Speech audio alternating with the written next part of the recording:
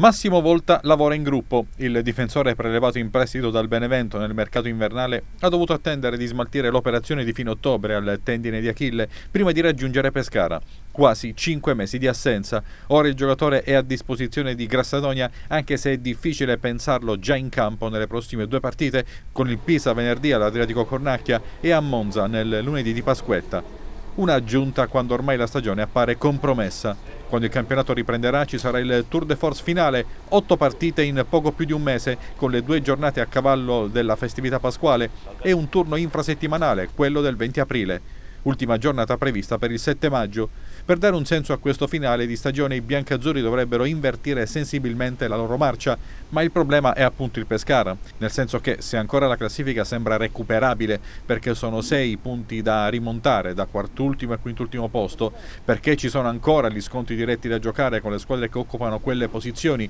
Cosenza e Reggiana, d'altro canto proprio il Pescara ha dimostrato di non avere la forza per fare la rimonta. I numeri impietosi dicono che i biancazzurri azzurri hanno vinto 5 gare sulle 30 disputate. Ora ne dovrebbero vincere almeno altrettante, ma in sole 8 partite. I numeri dicono poi che in casa il Pescara non vince dal 3-2 col Monza dello scorso 19 dicembre, un girone fa in pratica, che sempre in casa il Delfino è la squadra peggiore del campionato, 10 punti fatti contro i 12 di Entella e Cosenza, che quella del Delfino è la peggiore difesa insieme a quelle di Entella e Reggiana, 47 le reti subite, che l'attacco è il peggiore in assoluto con le sole 22 reti segnate. La partita contro il Pisa dirà se il verdetto della retrocessione matematica si avvicinerà o se sarà lecito coltivare qualche residua speranza alla vigilia della doppia trasferta lombarda. Dopo il lunedì dell'Angelo al Brianteo contro il Monza affamato di punti perché in lotta per il secondo posto, il Pescara sarà di scena a Brescia sabato 10 alle ore 14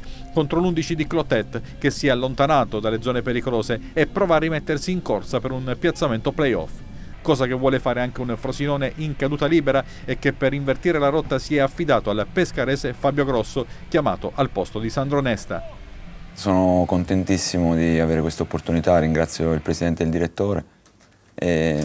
per me Frosinone è una piazza importante, una società seria, ha tantissime caratteristiche che ho sempre desiderato di, di, di trovare nelle società in cui sono andato ad allenare e ripeto, sono contento di, di, essere qui e mi auguro di fare un bel lavoro insieme a tutto il resto della squadra. E non ho voglia di rivalsa, io ho voglia di lavorare, ho tanta passione in quello che faccio e conosco i miei difetti ma conosco anche i miei pregi quindi credo di, di, poter, eh, di poter insieme a questo gruppo fare un finale di stagione positivo